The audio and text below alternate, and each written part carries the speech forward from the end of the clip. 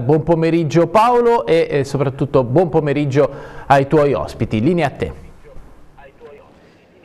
Grazie, grazie Alfredo, un buon pomeriggio ovviamente a te, ai nostri telespettatori. Hai detto bene, siamo all'esterno dell'ospedale civile di Pescara con il direttore generale della ASL Antonio Caponetti e con eh, Bruno Ciuca, responsabile unico eh, delle ehm, liste d'attesa per quanto concerne eh, proprio la ASL di Pescara. Io partirei ovviamente dal dottor Caponetti per parlare, come diceva anche il collega da studio, dottor Caponetti, di un argomento che in queste ultime ore è sicuramente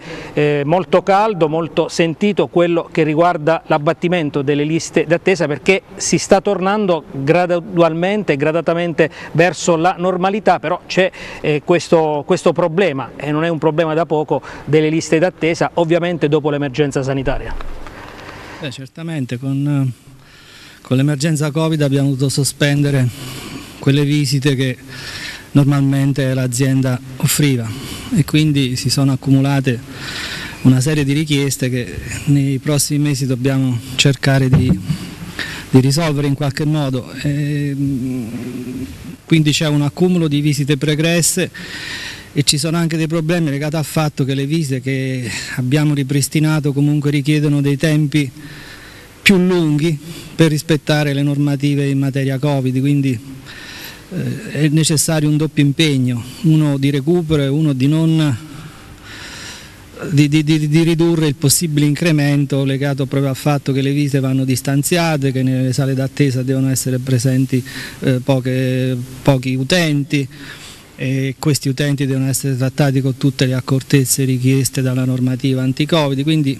ci sono una serie di problemi importanti che interessano questa ASL ma tutte le aziende ASL di, di questo paese ovviamente. Ovviamente è un problema che riguarda, come diceva lei, anche le altre ASL abruzzesi, i numeri sono numeri sicuramente importanti e per eh, abbattere eh, queste liste di attesa, dottor Caponetti, la Regione ha varato un programma che prevede anche eh, visite nei giorni festivi e anche fino alle 22 quindi orari eh, prolungati e eh, giorni che normalmente eh, sono dedicati al riposo e alla festa che verranno utilizzati, verrebbero utilizzati per cercare proprio di andare incontro all'utenza. Beh, dobbiamo, sì, la Regione ha dato delle direttive di massima che poi devono essere calate in ogni azienda tenendo presente le realtà di ciascuna. Tra le ipotesi di lavoro c'è anche quella di oh, incrementare le ore di lavoro e eventualmente di poter interessare anche giorni festivi. Questo compatibilmente con eh, le necessità di recupero che abbiamo in tanti nostri operatori che hanno vissuto dei mesi intensissimi e faticosi per cui eh, dovremo valutare opportunamente tutte queste possibilità cercando di offrire un prodotto utile e necessario. Io entrerei ancora più nello specifico con Bruno Ciuca, responsabile proprio ehm, della, delle liste d'attesa eh, del RUA dell'ASL di Pescara, eh, parlavamo dei numeri in apertura di questo collegamento, per quanto riguarda l'ASL di Pescara ci sono oltre 40.000 prestazioni, prestazioni da eh, erogare, arretrate e per quanto riguarda invece la totalità delle ASL abruzzesi arriviamo a oltre 200.000. Allora, noi eh, come dato eh, attuale abbiamo all'incirca 41.000, eh, oltre 41.000 prestazioni da recuperare che sono state oggetto della sospensione ai sensi delle ordinanze del Presidente della Giunta regionale eh, emanate nei mesi di marzo, aprile e maggio. Chiaramente eh, la situazione regionale, i numeri delle altre ASL ehm, devono essere ancora comunicati, credo che eh, compatibilmente col numero dei residenti siamo in un ordine molto vicino a quello dichiarato dall'ASD di Pescara in questo momento. Come dicevamo anche prima, c'è questo um, progetto, questo programma che è stato stilato dall'assessorato alla sanità che eh, ovviamente eh, prevede un allungamento eh, dei tempi per quanto riguarda le visite e anche la diagnostica, tra l'altro ehm, ci sono anche quei ricoveri non urgenti che erano stati rinviati proprio nel periodo dell'emergenza e a cui ora dovrete in un certo eh, senso far fronte. Sì, la recente ordinanza numero 76 del Presidente della Giunta regionale dà le indicazioni di massima alle aziende sanitarie i criteri per la riattivazione e delle prestazioni specialistiche ambulatoriali e dei ricoveri secondo la normativa delle classi di priorità. Quindi se fino a questo momento, fino al 20 giugno, noi abbiamo erogato solo le prestazioni che che avevano determinate classi di priorità ad, ad, ad oggi, urgenze. Ad oggi possiamo riattivare eh, eh, diciamo, anche le prestazioni sia in regime di ricovero che in regime di specialistica ambulatoriale in classe programmata, quindi cosiddette non urgenti. Chiaramente noi dobbiamo tener conto, come diceva il direttore generale dottor Caponetti, anche delle prescrizioni eh, vigenti e delle linee guida in materia di, eh, eh, di contenimento di quella della diffusione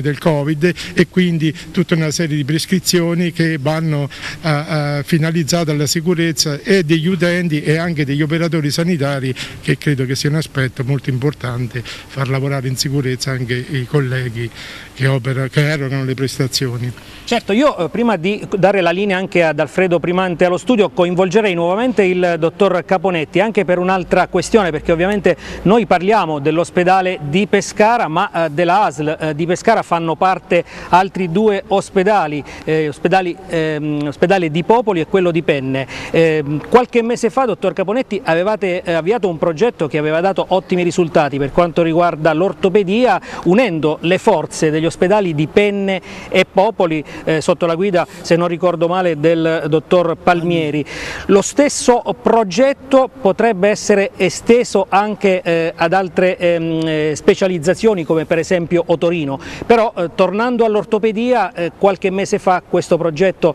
eh, coordinato dal dottor Palmieri mi sembra abbia dato ottimi risultati. Beh, eh, da quello che abbiamo potuto vedere in effetti è andato così, anche se era una soluzione che è stata osteggiata, abbiamo pensato che con- considerate le risorse disponibili potesse essere una soluzione a dei problemi altrimenti irrisolvibili. È possibile l'estensione di, di- di questo approccio anche ad altre specialità. Per quanto riguarda Torino, recentemente abbiamo eh, nominato il dottor Berni responsabile di una, una WOSD, quindi un'unità territoriale con autonomia rispetto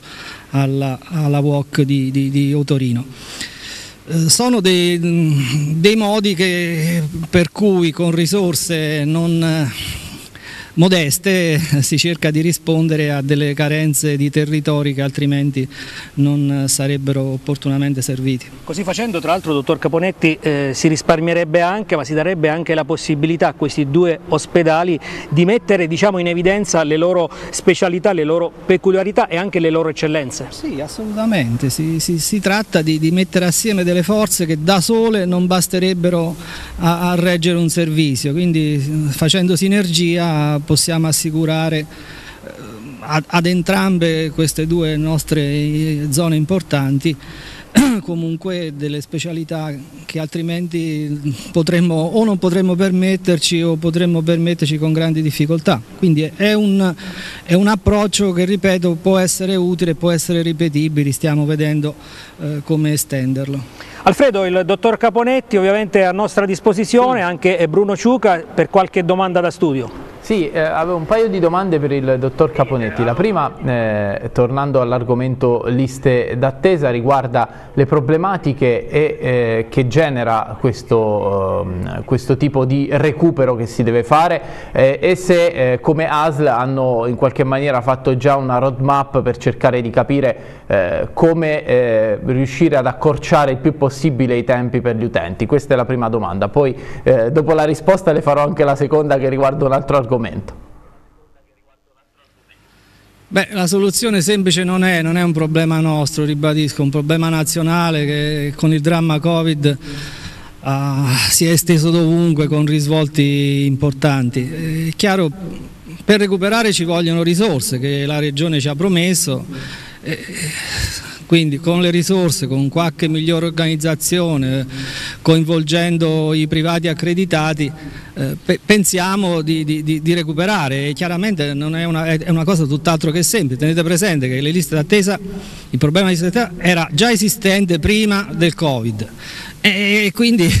con, con i problemi che ci ha portato questa emergenza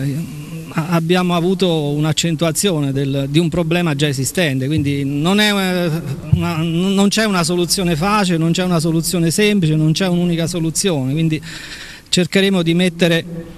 in atto tutto quello che, che c'è possibile e, e, a questo punto è, è assolutamente indispensabile che, che, che vengano dal, da, dallo Stato centrale, dalla nostra regione, risorse aggiuntive per poter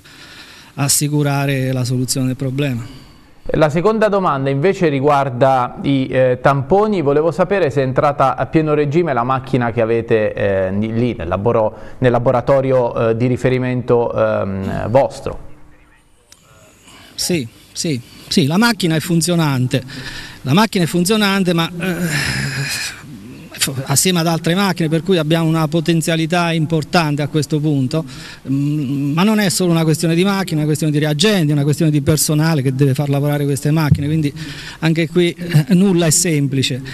C'è pure da dire che ormai da giorni i casi positivi sono pochissimi o, o nulla, quindi eh, in questa fase il problema è sotto controllo. Eh, è importante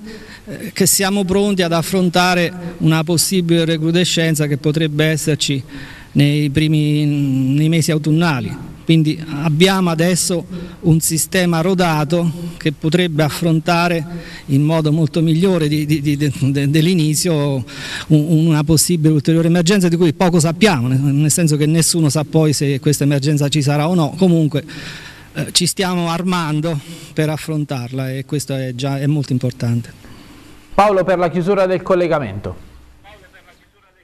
Sì, per chiudere a proposito di questo argomento, dottor Caponetti, poi chiuderemo con Bruno Ciuca, attualmente quanti sono eh, i eh, positivi ricoverati all'ospedale di Pescara, nel, nel, nell'ospedale Covid che è stato di recente inaugurato? Sì, sì la nuova struttura sono stati trasferiti in questa struttura i pazienti Covid che avevamo nel monoblocco, sono sotto a 30 in questo momento, le condizioni sono discrete e progressivamente si andrà a una, una riduzione di, di, di questi ricoverati. E però anche lì è importante adesso avere a disposizione una struttura pluripotenziale che, potrebbe, che dovrebbe sostenerci in modo significativo all'occorrenza e ripeto l'occorrenza potrebbe essere nei prossimi mesi autunnali.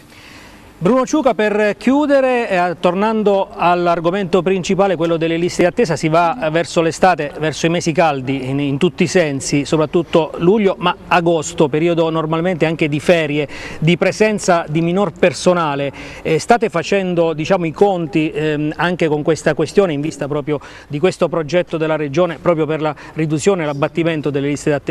di attesa? Eh, l'ordinanza 76 contempla che le aziende sanitarie eh, predispongano dei piani per il recupero delle prestazioni oggetto della sospensione delle, durante il periodo di emergenza Covid. Noi eh, stiamo predisponendo e a giorni eh, renderemo eh, eh, pubblico il piano dell'ASA di Pescara che si articolerà su vari fronti e l'ottimizzazione e l'estensione dell'attività ambulatoriale